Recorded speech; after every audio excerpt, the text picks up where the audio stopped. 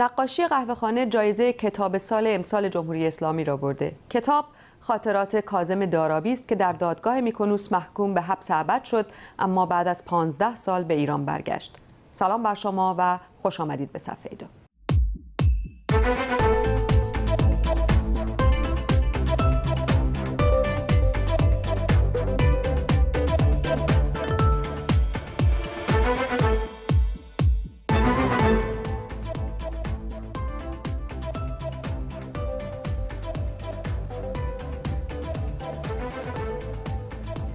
در روز پنجشنبه 26 شهریور سال 71 کمی قبل از 11 شب در رستورانی به نام میکونوس در شهر برلین چهار نفر از مخالفان جمهوری اسلامی با شلیک سی گلوله یک مسلسل و یک سلاح کمری کشته شدند. آنها صادق شرفکندی دبیر کل حزب دموکرات کردستان ایران فتاح عبدلی نماینده حزب در اروپا همایون اردلان نماینده حزب در آلمان فدرال و نوری دهکردی مترجم حزب بودند. این پرونده به یکی از مهمترین اتهامها علیه جمهوری اسلامی بدل شد که سایه سنگین آن بر روابط ایران و اروپا تا سالها باقی ماند.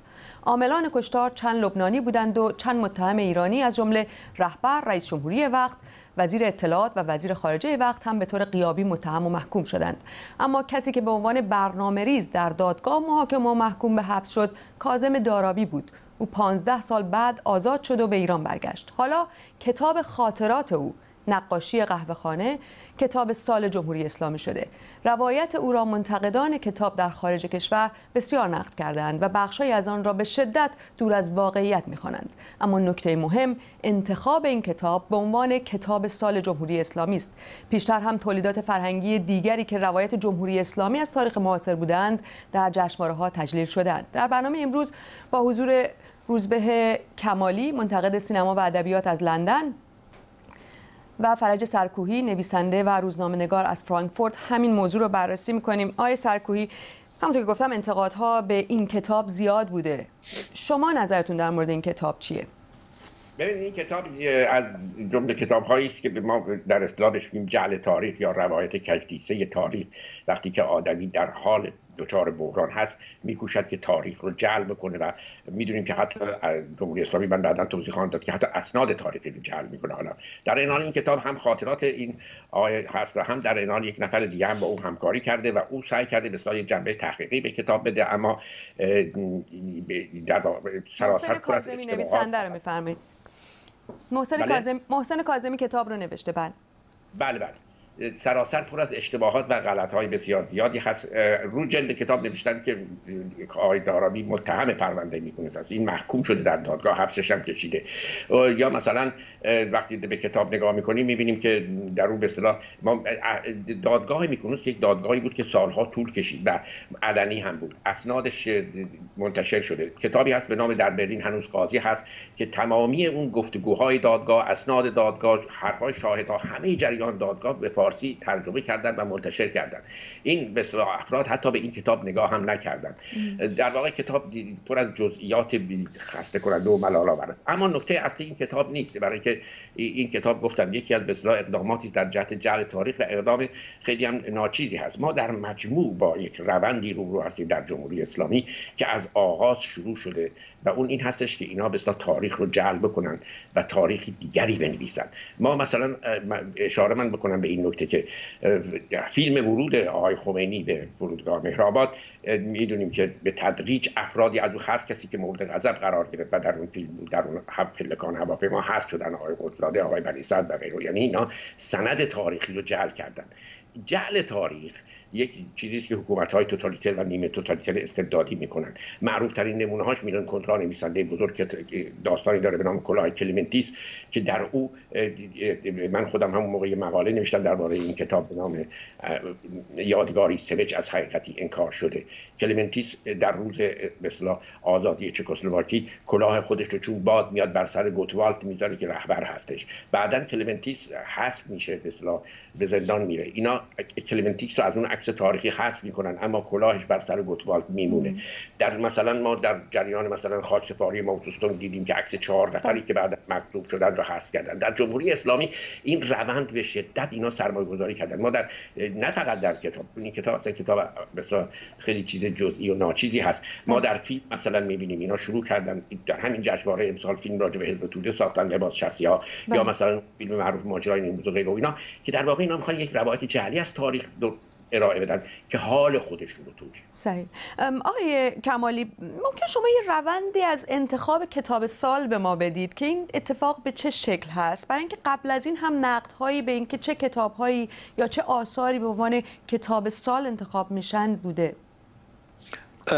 ببینید واقعا خیلی سازوکار روشنی نداره انتخاب کتاب سال. به معنی در واقع منظورم راجع به داوری کتاب سال هستش. هیئت برگزار کننده کتاب سال یک با رجوع می‌کنه به کتاب هایی که در یک سال منتشر شدن و یک عده از اینها رو شورت لیست می‌کنه به اصطلاح در یک لیستی در یک فهرستی میاره و اونها رو کاندید می‌کنه برای اهدای جایزه کتاب سال. مهمترین بخش اینه که برخی از نویسنده ها و مترجما اصولا اجازه نمیدن که کتابشون وارد این فرایند بشه برای اینکه اصلا اینو قبول ندارند. این سازوکار کتاب سالو. از زمانی که داوری آغاز میشه مثلا فرض کنید مثل داوری جشنواره فیلم فجر مثل داوری انواع و اقسام این جایزه ها در ایران دیگه همه این چیزها این روند داوری کاملا پنهانه. و در نهایت هم اون چیزهایی انتخاب میشه که به نوعی گفتمان قدرت رو تایید می‌کنن بحث اصلی در واقع در اینجا این هستش که این شخص آقای دارابی رو این کتاب از یک محکوم به گفته شما آقای سرکوهی تبدیل می‌کنه به یک قربانی. کسی که 15 سال از عمرش رو در در واقع دادگاه و زندان گذرونده بدون اینکه خودش میگه من 400 کیلومتر دورتر بودم. به هر حال این روایت جمهوری اسلامی هست از این تاریخی که خودش میگه که در واقع به نوعی ساخته شده برای اینکه هدف قرار بده جمهوری اسلامی رو. فکر می‌کنید که تا کجا این خریدار داره؟ در داخل کشور و در خارج از کشور. به هر حال این این کتاب ها با به تیراژ زیادی ممکن است چاپ بشن و پخش بشن در بسیاری از کتابخانه ها قرار بگیرن. من فقط قبلش اجازه بدید یه نکته بگم راجع کتاب سال من سالها در ایران همون موقع که در ایران بودم خب ما این کتاب سال بود و ما هم می‌رفتیم اونجا خبرنگار بودیم گزارش تعیین می‌کردیم کتاب سال در واقع هیچ اعتباری در ایران نداره. اگر نگاه بکنین حتی خود رسانه های دولتی هم که به این به این جایزه هیچ اهمیتی نمیدن. در واقع یک جایز برای دادن رانت های دولتی به, هم به معلفینی که در راستای مثلا در بستر حکومت ایدئولوژیک جمهوری اسلامی کتاب تعلیف می‌کنن یه نمونه من خیلی ساده بگم از اینکه چقدر اینها بی سواد و دور از کتاب هستن همین کتاب جایزه دادن گفتن در بخش مستندنگاری. ما در عرصه جان، در کتاب ژانری به نام مستندنگاری نداریم مسخره است این اصطلاح. ما فیلم مستند داریم. این یه بحث دیگری که مستندنگاری منظورشون پژوهش هست. خب پژوهش تحقیق باید مستند باشه. اصلا خیلی مسخره است که اینا برای اینکه بخوان یک پولی به این آقا بدن و مثلا کتاب رو مطرح بکنن در رسانه ها آمدن یک ژانر درست کردن که اصلا اصطلاحش مسحک و خنده دار هست. اما سوال اصلی شما که گفتین ببینین من همونطور که گفتم اینها از آغاز سرمایه زیادی گذاشتن برای جعل تاریخ. وزارت اطلاعات یک بخشی درست کرده بود ما در ایران هم بودیم کتاب مثلا تاریخچه سازمان فدایی در میاد نمیدن خاطرات جعلی خاطرات زیر شکنجه کیانوری رو در آوردن که خب طبیعتا حرفای زیر شکنجه اعتبار نداره. این این مؤسسه کتابای بسیاری منتشر کرد و حالا ما می‌بینیم که هیچ کسی حتی خود اونا به این کتابا استناد نمی‌کنن. بعد فیلم هایی که مثلا ساختن از مثلا امکانات مینا بگیر که درباره مجاهدین ساختن تا فیلم های ماجرای نیمروز نمی‌دونم فیلم راجع به حزب توده و غیره و اینا. ما خودمون ببینیم که در همین جشنواره که امسال چند تا از این فیلم ها بودن خود منتقدین دولتی میخندن به اینا. واقعیت این هستش که شما وقتی که این بله این درست هست که شما میگین این کتاب ها تیراژ بسیار بالایی داره اما تیراژ به معنای خواننده بسیار بالا نیست. این کتاب ها رو مؤسسات دولتی سفارش میدن به عنوان هدیه هم به هم دیگه میدن. در واقع یک روال یک روال بسیار موسیقی هستش. اما اینکه آیا مردم این تاریخ جعلی رو باور می‌کنن. ما در سریال های تلویزیونی که اینا در جعل تاریخ ساختن یا فیلم ها که تازه دامنه خیلی گسترده تری داره و مخاطبان گسترده تر از کتاب ببینیم که بیشتر به صورت تنز در آمده در میان مردم. یعنی واقعیت قضیه این هستش که اینها تاریخ معاصر ایران تاریخی که مردم اون رو دیدن رو دارن جعل می‌کنن.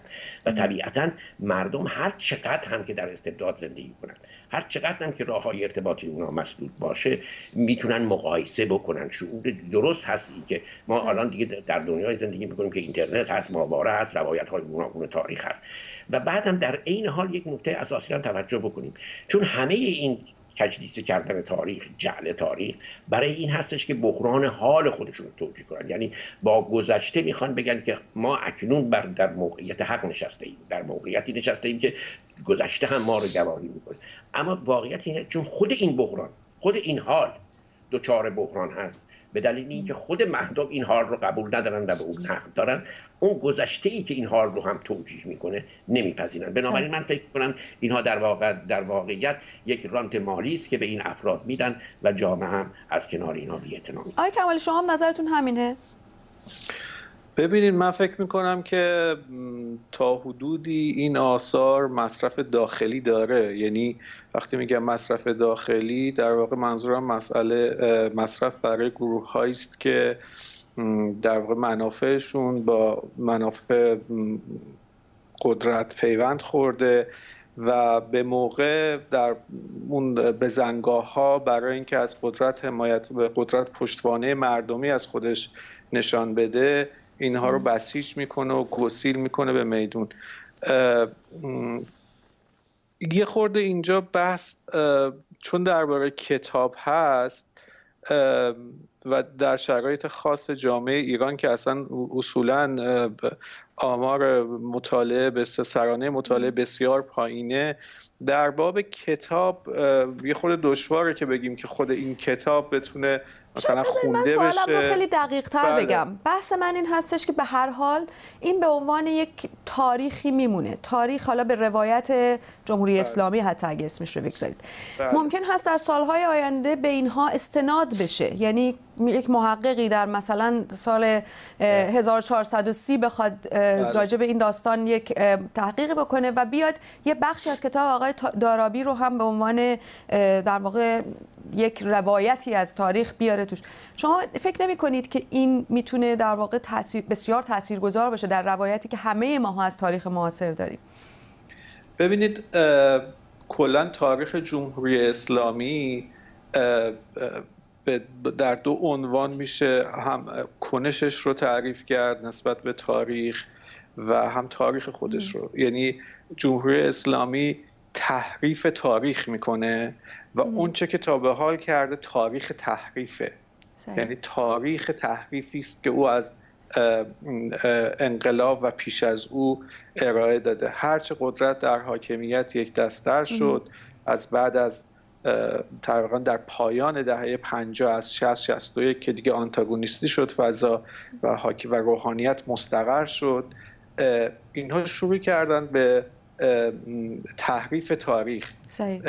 حتی شما می‌تونید ببینید که در اقدام در اقداماتی سعی می‌کنند در واقع آثار به جامانده تاریخی رو هم تصاحب کنن تحریف کنن. متوجه. شما... اصلا بحث این که کتب تاریخی که در مدارس تدریس میشه بله. واقعی نیست اینها همه هست. ولی می‌دونید بحث من بیشتر برمیگرده به این نکته. همیشه گفته میشه که تاریخ رو قدرتمندان و غالبان می نویسند بله.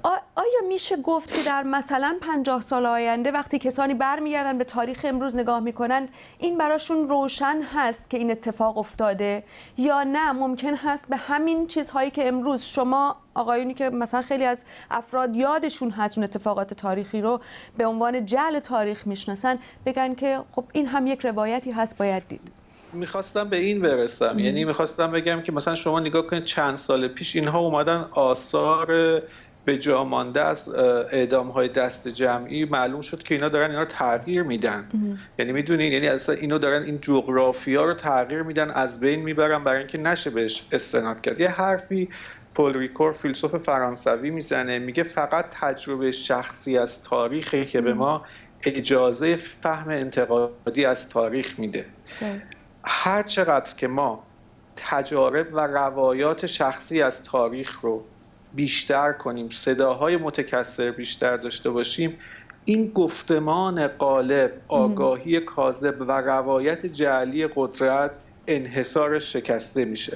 با این حال من معتقدم که این مصارفی داره برای همین اولا که یک توضیح همونش که آقای سرکویی گفتن یک توضیح منافعی از طریق همین جایزه کتاب سال و اینها بین گروه های همراه با خودشون.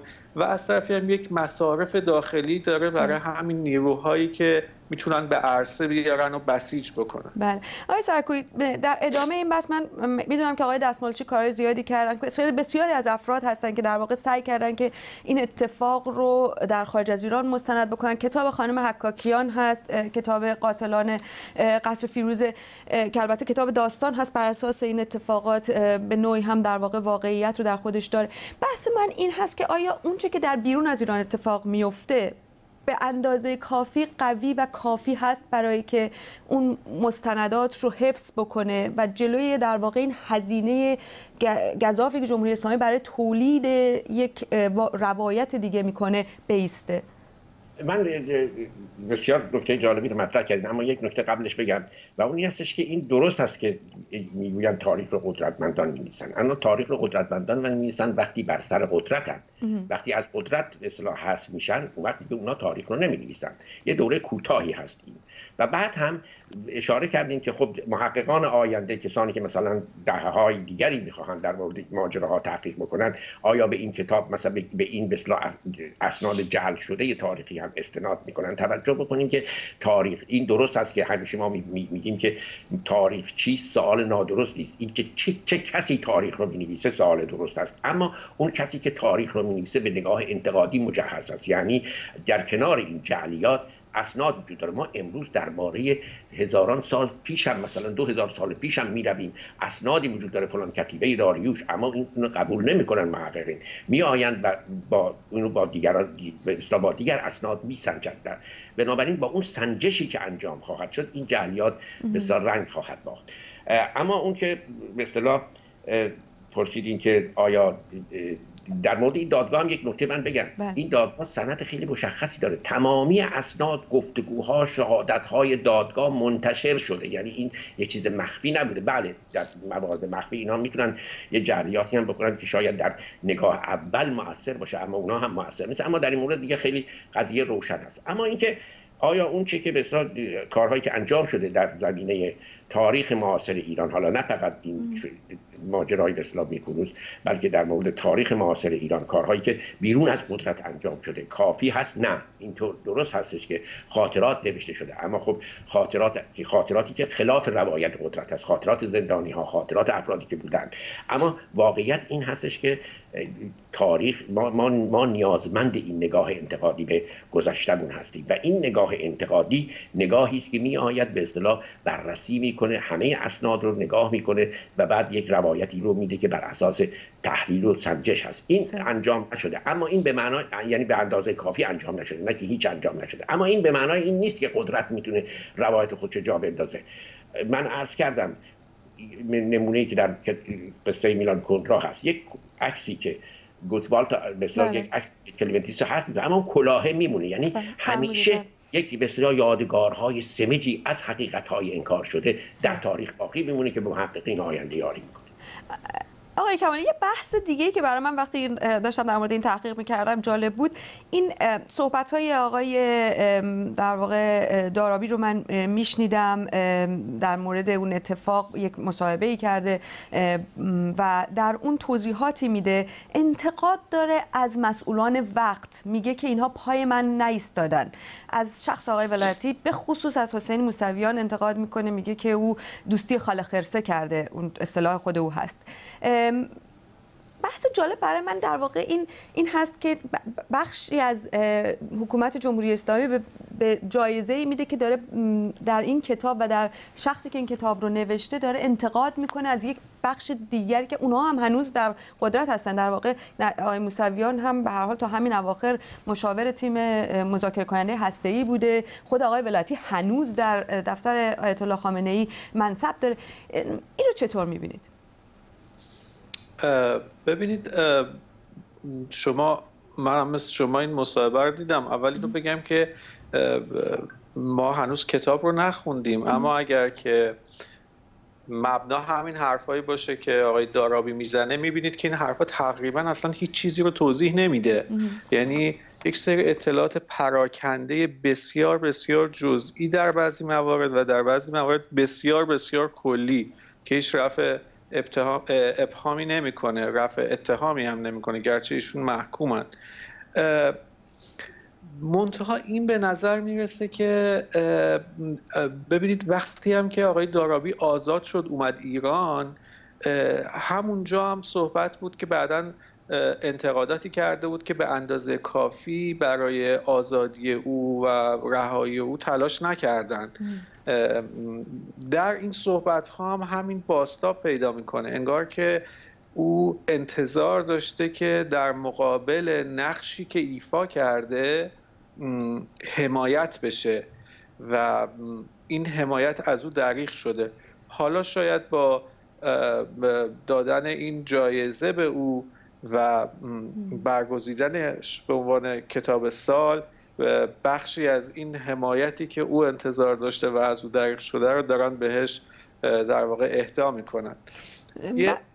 بخش جالبی که در واقع در اون صحبت ها هست و بعد در این کتاب هم به هر حال روشن میشه این که بله. شخص آقای داربی چه شخصیتی داره اینکه او آدمی بله. هست که خودش میگه که من خودش رو بچه مسلمون توصیف می‌کنه میگه نزدیک بودم به سفارت نزدیک بودم به گروه های مختلف ولی میگه من عضو حزب الله نبودم در حالی که همسرش لبنانی هست و بعد بعد از اینکه آزاد میشه هم برمیگرده میره به لبنان و در پروژه های جمهوری اسلامی در لبنان کار می‌کنه. آقای سرکوی چقدر آلمان شما اونجا زندگی می‌کنید؟ چه واکنشی داشته به این تصویری که در واقع آقای دارابی سعی می‌کنه از خودش بسازه؟ آیا اصلا اونها واکنشی دارن؟ اونها چه میگن؟ همین امروز هم دوباره یک معامله دیگه زندانی بین ایران و آلمان بوده. این مسئله از هم بهتر جدا کنیم. این که این آقا من کتاب خوندم کتابی که نوشته. خیلی کتاب بی ربطی است واقعا اصلا از نظر کتاب کتاب مسخره ای هستش؟ دوران کودکی دوران که هیچ ربطی به موضوعات نداره. اصل قضیه این بوده که اسناد جدی وجود داشته که او خونش رو در اختیار این به تروریست ها گذاشته و بعد هم سوابقی هم داره میگیم. زندان بوده قبلا در آلمان حمله کرده به آقای دانشجویی دستگیر شده بوده به اون دلیل. از این حرفا هم میگن این در واقع یک مهره های وزارت اطلاعات ایران بوده. دادگاه هم ببینید یک دادگاه آلمانی خیلی جدی دادگاه پنج سال طول کشیده 247 جلسه داشته. 170 نفر در دادگاه شهادت دادن. این خودش سه چهار تا وکیل داشته. بقیه کلی وکیل داشتن. اصلا شوخی نیست قضایا. بعدم اسنادی که در دادگاه را از کردم در کتاب منتشر شده این اسناد به زبان فارسی هم. این, ای ای او به اصطلاح متهم بود که مقدمات ترور رو انجام داده تدارک کرده با به با حیلفه کرده به قول آلمانیا دادگاه رو محکوم کرد. دادگاه آلمان هم می‌دونیم مستقلا شوخی با کسی نداره. این که حالا رفته این یه کتاب نوشته اصلا برای اینا دیگه اهمیتی نداره. البته اهمیت اون نکته که شما اشاره می‌کنین جدا از این کتاب بسیار مهم هست. و اون این هستش که در اون زمان می‌دونیم که علیه ولایتی آقای خامنه ای رفسنجانی دادگاه اظهار شدن حکم بازداشت جهانی فلاحیان وزیر اطلاعات ایران صادر شد. و اینا بر اساس دلایل خیلی جدی بود که در دادگاه ارائه شد. اون آقای شاهد سی و خیلی داستانهای مفصل داره. اما او در زندان بود بعدم بر اساس قوانین آلمان کسانی که این این تعداد سال زندان خودشون بکشن حبس ابد داشته باشن می‌تونن آزاد بشن. اینو آزاد کردن در در این مورد خاص هیچ معامله نکردن چون قد مطبوعات آلمان حساس بودن در این مورد که کسی نمی‌تونه معامله پنهانی بکنه. اما اینکه معامله پنهانی وجود داره بین دولت های اروپایی و دولت جمهوری اسلامی. ایران خب یه نمونه چند الان خود شما گفتید. من بیشتر مثلا این شخص آقای دارابی بود که مثلا وقتی آقای دارابی برمیگرده و بعد میره دوباره در لبنان و داره در اونجا در پروژه هیچ واکنشی در آلمان در رسانه ها نبود نسبت به این موضوع؟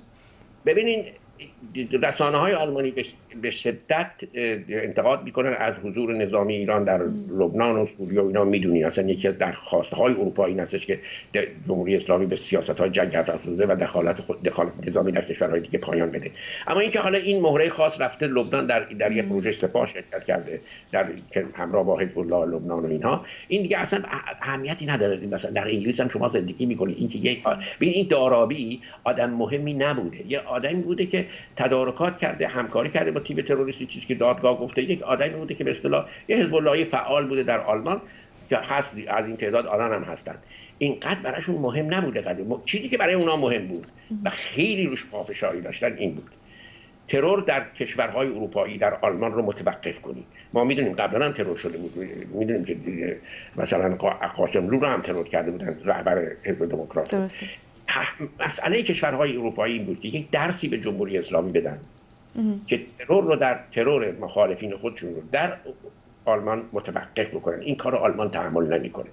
و بعدم درس دادن. یعنی اینا علیه خامنه ای ولی خب این اواخر هم باز پارسال دوباره یه سری پرونده دیگه مطرح بود. آیا فکر می‌کنید اون خب، درس داده شده گرفته شده؟ بعد از اون ماجرای میکنوز می‌دونیم که همه سفیرهای اتحادیه اروپا از ایران رفتن. و وقتی برگشتن یک شرایط سختی رو به جمهوری اسلامی تحمیل کرده از جمله شرایطش یکیش آزادی خود من بود. من اصلا چیز شدیدم بله. که باید سرش سرکوی آزاد بشه اتهام جاسوسی هم حذف بشه. ببینید و بعد یکیش دیگه مثلا مسئله رشدی مسئله فتوای رشدی بود و اینا. در واقع اینها بعد از حکم داد در دادگاه دولت هاش تاثیر نداشتن. اما بعد اون رو گرفتن به شدت و به جمهوری اسلامی گفتن که شما نباید ترور کنید در آلمان. بله. و ما مدت ها هم این کار نشد. یعنی اگه دقت بکنید سالها ترور مخالفین در اروپا متوقف کرد جمهوری اسلامی به خاطر این. چون دید باهای بسیار سنگینی باید بده. اینکه حالا دوباره شروع کرده همونطور شما گفتین خبرهایی منتشر شده در این زمینه. باید بحث کرد که چه تغییر و تحولاتی در روابط رخ داده مثلا دیگه به اصطلاح تحریم ها هست چه و چه و چه. یه بحث سیاسی هستش. اما برای آلمانیا دارابی مهم نبود چون یکی از مهره ها بوده به اصطلاح. از این مهره بسیار هستن برایشون اون درس دادن به جمهوری اسلامی مهم بود و این درس رو بهشون دادن. ممنونم از هر دوی. شما آقایون برای شرکت در این بحث آقای سرکویی و آقای کمالی و ممنونم از شما که با صفحه دو همراه ما بودید. برنامه رو می‌تونید روی وبسایت ما و روی سایت یوتیوب مجدد ببینید. همینطور می‌تونید پادکست برنامه رو بشنوید. اگر که روی اپلیکیشن پادکستتون با کلمه صفحه و عدد دو اون رو جستجو بکنید. ممنونم از همه شما. شب روزتون خوش.